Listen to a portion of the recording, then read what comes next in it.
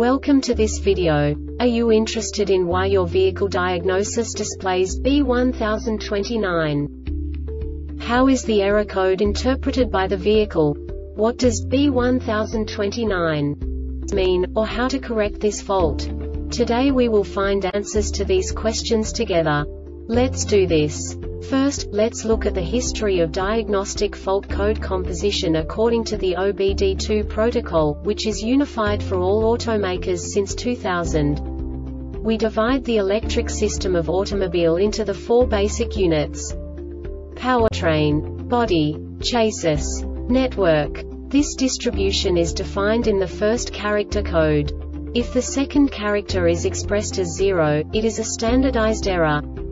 In the case of numbers 1, 2, 3 it is a more prestigious expression of the car-specific error.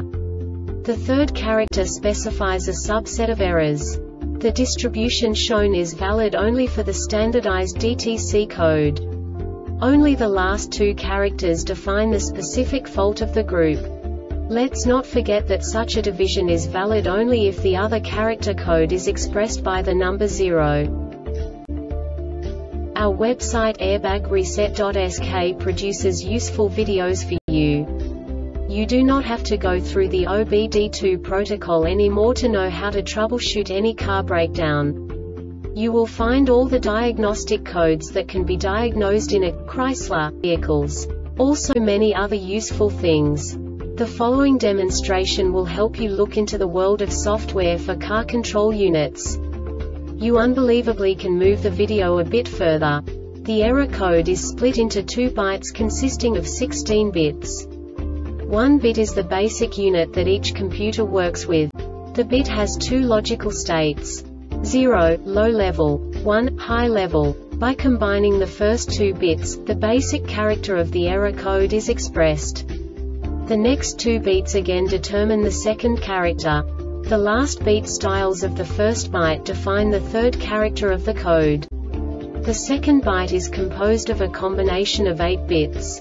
The first 4 bits determine the fourth character of the code. And the combination of the last 4 bits defines the fifth character. A single byte conceals 256 possible combinations. We now know in what way the diagnostic tool translates the received information into a more comprehensible format. The number itself does not make sense to us if we cannot assign information about it to what it actually expresses.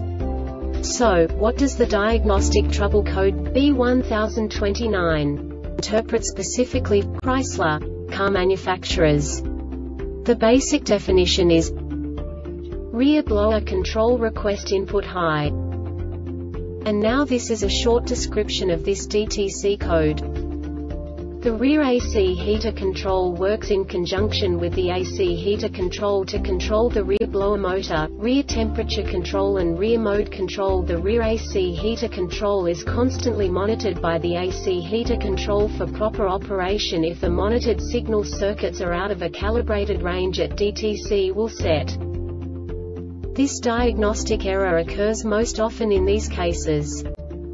Rear blower signal circuit shorted to voltage signal ground circuit shorted to voltage signal ground circuit open rear A or C heater control A or C heater control. The Airbag Reset website aims to provide information in 52 languages. Thank you for your attention and stay tuned for the next video.